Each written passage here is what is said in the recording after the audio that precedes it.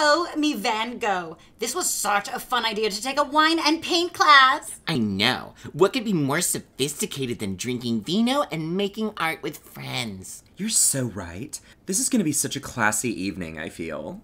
Students, this is Joe Oregano. He'll be our model for the day. Ugh, sweet Salvador Dali. I want that man to paint my with his big and.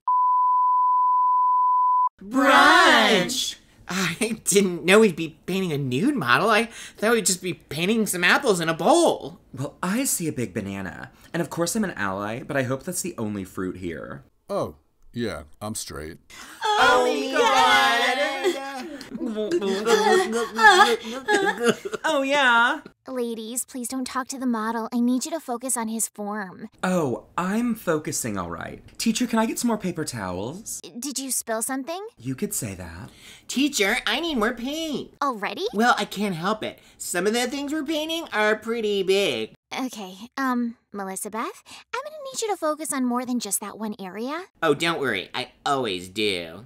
Is it hot in here? It's is anyone else hot? The thermostat is set to 70 degrees. Personally, I prefer 69. Dear God. Samandra, it looks like you're painting a Georgia O'Keeffe flower. Oh, that's so nice of you to call it a flower. My ex called it that too. But why isn't the model in it? Oh, he will be soon. Ugh. When did you all get footlong hot dogs? We're just so hungry. Mm-hmm. Oh, huh, I didn't know the teachers drink too. Wow, she passed out. I wonder what could have driven her to such a state. We love art!